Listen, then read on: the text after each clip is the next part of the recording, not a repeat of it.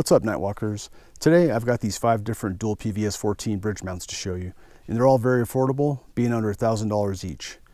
Right here we've got the Asgard Defense Systems dual monocular bridge, integrated components D14 Gen 2, integrated components D14 lightweight, TNVC non-powered bridge mount, and the TNVC powered bridge mount. I'm a big fan of running dual PVS 14s and the reason's pretty simple. Most of us, myself included, your first device is going to be a PVS 14. And when you decide to go to duals, it's a lot less expensive to get a second 14 and a bridge assembly than it is to buy a true binocular night vision device. Plus, each device is truly independent on its own, so they're easy to separate. You know, if you want, if you need to share them with friends or whatever you're going to do, where you need to have these separated. Plus, when the time comes when you want to sell one of them or even both of them, you know, to fund another device or whatever it is you're doing, it's a lot easier to sell these independently than it would be to sell one true binocular night vision device. Now, a lot of people have asked me which bridge mounts to go with, and I've always referred back to the ones we own. And that would be the Integrated Components D14, the uh, TNVC non-powered bridge mount, and the Night Vision Devices S mount. Now, I don't have the Night Vision Devices S mount on display here, and that's because they don't make it anymore. So I don't want to show something that you can't buy. Uh, but because I've only had two mounts to really show uh, people and refer back to, this led me to make this video and get my hands on some other dual mounts so I can give you a good comparison of the different ones out there.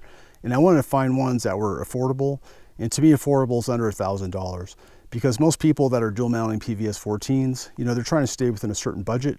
Um, otherwise, they would just spend the money on a true binocular night vision device. I have to give a big thank you to Mod Armory and TNVC for supplying these mounts for this video. Now I'm going to cover the Asgard by itself.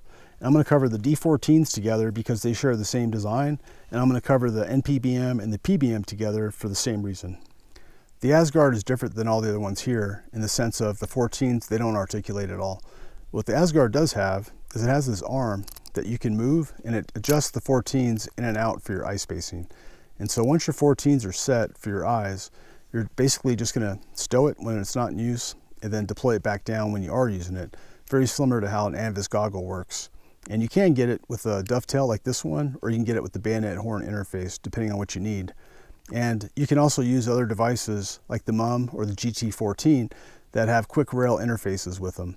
And so that's a pretty cool feature to these as well.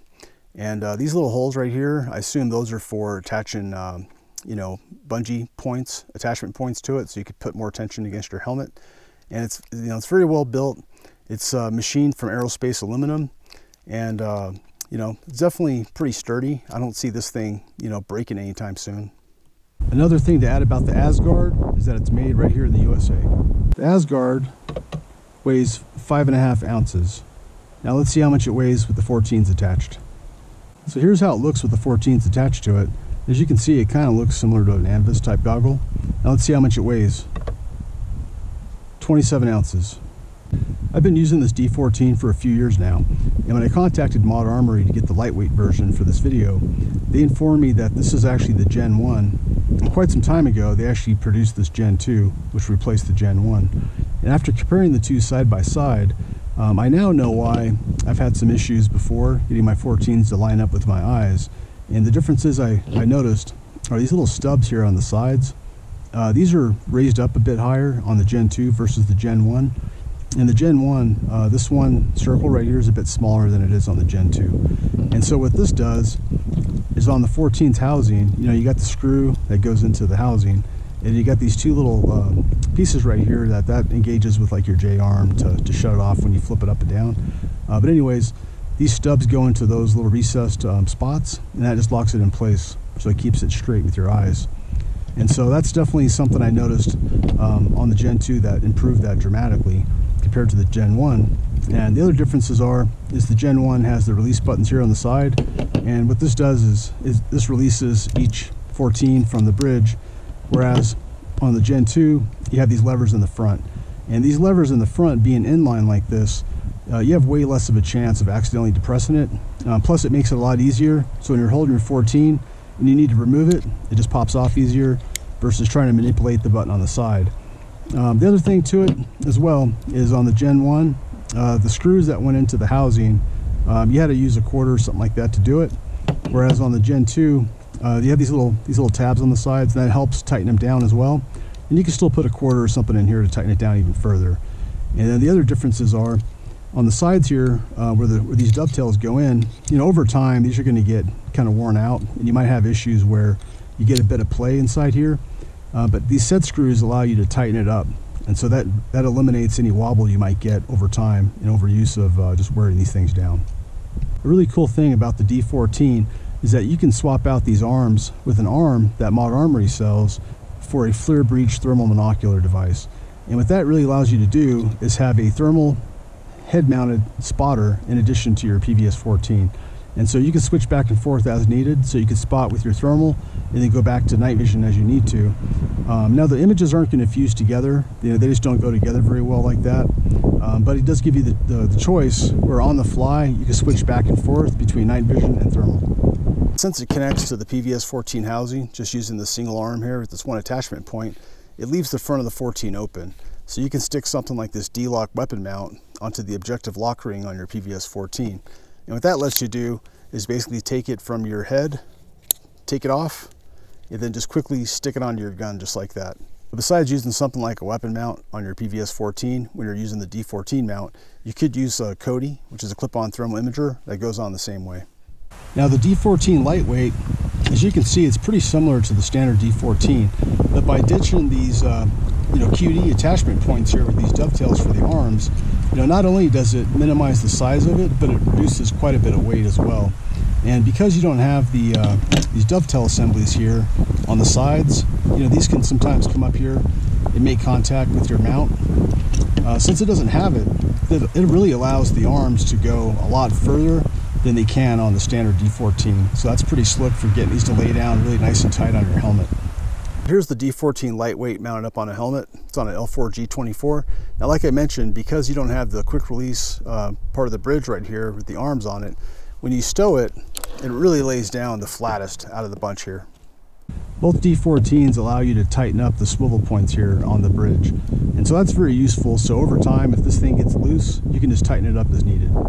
These are very well made. They're machined from aluminum, and best of all, they're made right here in the USA.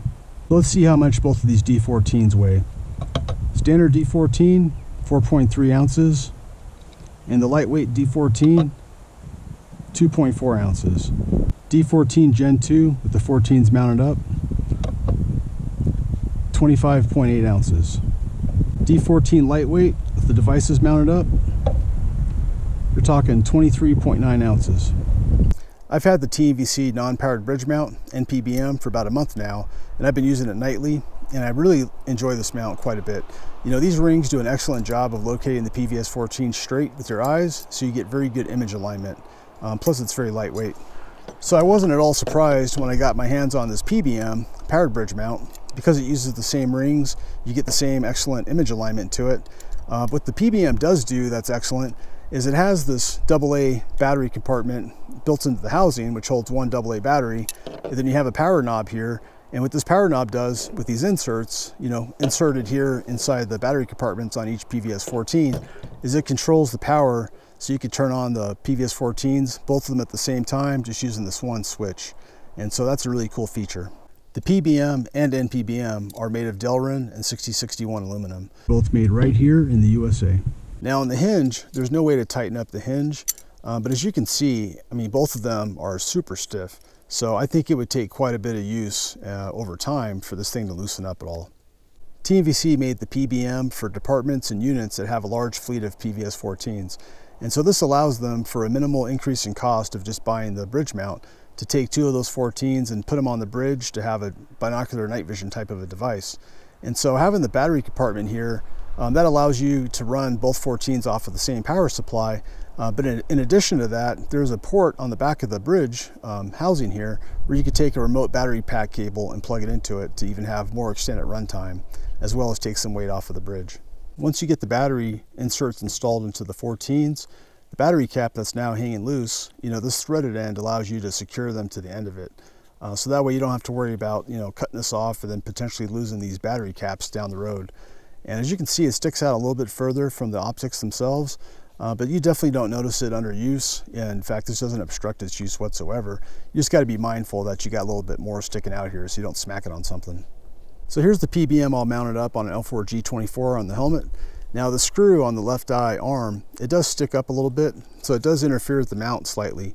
Uh, but as you can see, it still goes up really high. In fact, I don't know why you need to go much higher than that. And when it stows up on the helmet, it still lays up nice and flat. Non-powered bridge mount, you're looking at three ounces. Now I actually weighed this before without these bungee pieces on, and it didn't change the weight, it was still at three ounces. With 14s installed, you're looking at 24.4 ounces. Powered bridge mount comes in at 5.6 ounces. With the 14s mounted up on the scale, you're looking at 27 ounces. Now I didn't have the batteries installed in my 14s, and that's mainly because I'm outside here in sunlight, and because I'm swapping the 14s back and forth between all these bridge mounts, I didn't want to accidentally turn on a 14 and then burn up a tube in the sunlight. Um, but what I, what I run are these Energizer lithium AA's, and these things weigh half an ounce each, so you just need to factor that in. So here's the weights with the batteries installed into each PVS 14 and mounted up to each bridge mount. Now on paper the weights look kind of high, but I can tell you that when you're wearing them on the helmet with the counterweight on the back, it's really not that bad.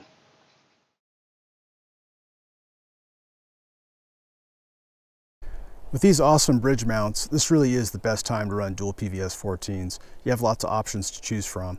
You know, each one of these mounts fits its own user group and they all have their own unique feature sets. The Asgard, I think, is perfect for someone who doesn't care about articulating goggles and where eye spacing is very important to them. Um, I can see a user who's got a lot of time behind Anvis goggles really liking this bridge mount. Um, and it's very minimalistic in terms of there's not a lot of things to mess around with. You know, once you got the 14s mounted up and you got your eyes set, you're basically going to stow them or you're going to have them down in deployment for use. The D14 is perfect for somebody that wants QD functionality as well as the ability to mount a FLIR Breach thermal monocular with the PVS-14 on a bridge, uh, in addition to the ability to mount a COTI or weapon mount to the front of the PVS-14. The D14 lightweight is perfect for somebody that doesn't want QD functionality and they just want something lightweight that offers tons of articulation. The non-powered bridge mount is great for somebody that wants lightweight with excellent image alignment. The powered bridge mount is excellent for somebody that wants a bridge mount that's going to give them the closest thing to a true binocular night vision device, as well as a remote battery pack capability. All of these are excellent, and most importantly, they're all under a thousand bucks. You can't go wrong if you pick the one that fits your needs the most, and thanks for watching.